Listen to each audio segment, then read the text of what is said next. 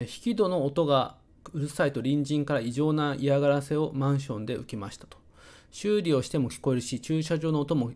るさいと言ってたそうです。いや精神科医に相談すると、もしかしたら精神臨時や精神疾患があると言われましたと。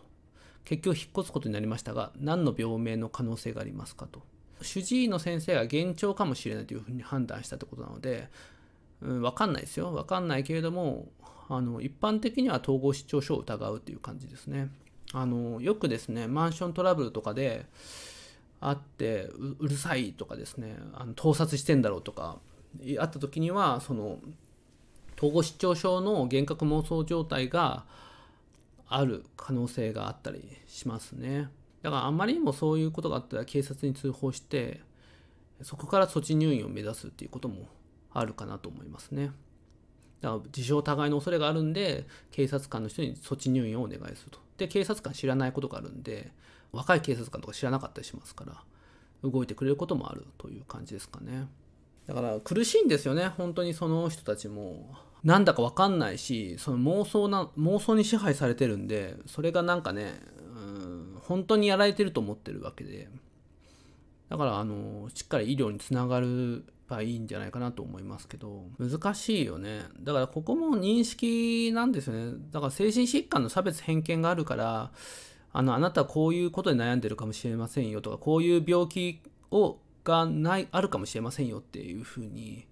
なんか言いにくいというか、言える社会にならないとダメなんだろうなと思いますけどね。いや、お前決めつけんのかとか、精神精神障害者扱いするのかって言って怒っちゃう人とかいるんですけど、それはそれでなんか失礼だからね、相手、あの、精神疾患がある人に対して。だって、言いますもんね、なんか最近調子悪いんですよって言った時に、ね、ななんか、なんか、べってやったら、口から血が出てって言ったら、それ胃がんとかね、胃の病気があるかもしれないから早く病院行った方がいいよとか、うん、なんかこう腰が痛くてっていう時にいやそれヘルニアかもしれないから病院行った方がいいよって。普通は言うわけじゃないですか。いやね街中にいてなんか倒れている人がいていやあんたちょっと調子悪そうだから病院行きなよとか救急車呼んであげるからちょっと待っときなとか言うわけじゃないですか。精神疾患があるってなんで言っちゃいけないのかよくわかんないですよね。うんだから冷静に考えたら なんか言っていいような気もするけどね。いやあなたこれちょっとあの僕らは音聞こえないからあなただけ聞こえてる音かもしれないからちょっと病院行ってみた方がいいよと。まあそれが言える社会に変えていかなきゃダメなんだろうけどね。曖昧にしちゃうっていうのはなんかよくわかんないけど。でもまあ普通にどうなのかな。言っていいんだろうけれどもあの理屈の上ではただ現実的なその差別偏見とかがある現状からかあの鑑みると